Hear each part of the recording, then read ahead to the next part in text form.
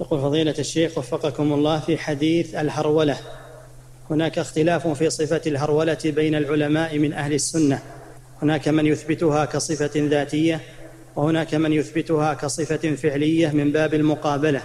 وأنا أعكف يا فضيلة الشيخ على بحث هذه المسألة وقد حيرتني فما هو قول فضيلتكم فيها؟ يفسره قول الرسول صلى الله عليه وسلم لئن سألني لأعطينه ولئن استعاذني لأعيذنه.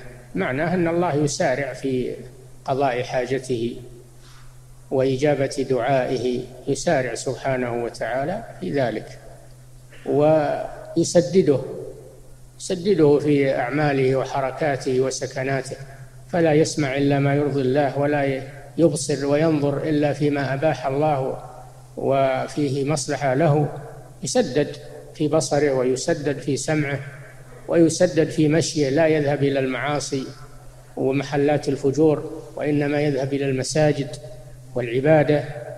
معناه أن الله يسدده. نعم. يقول فضيلة الشيخ وفقط فآخر الحديث يفسر أوله كما قال شيخ الإسلام ابن تيمية. نعم.